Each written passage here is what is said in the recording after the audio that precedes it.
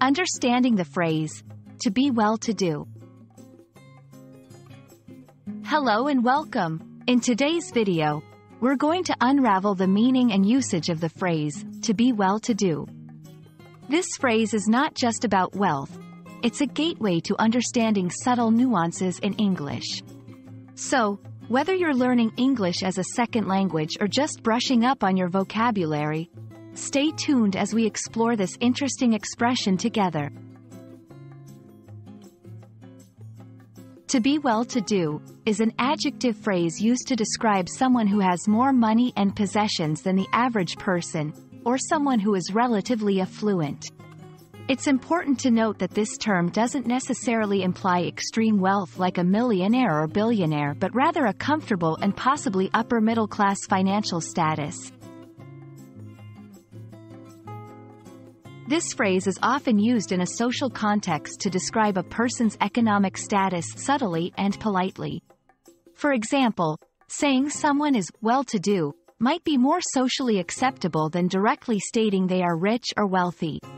It's commonly used in written English, literature, and more formal conversations.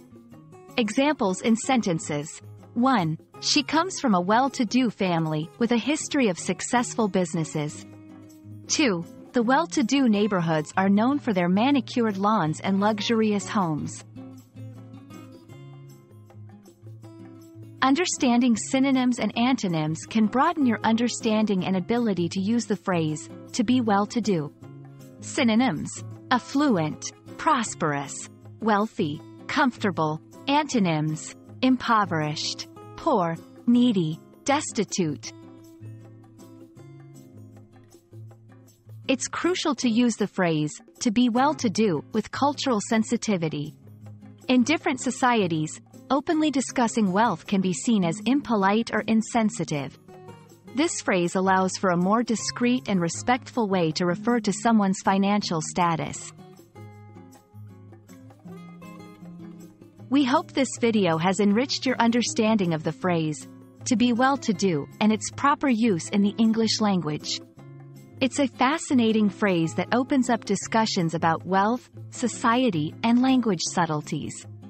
Thank you for watching, and we look forward to seeing you in our next video.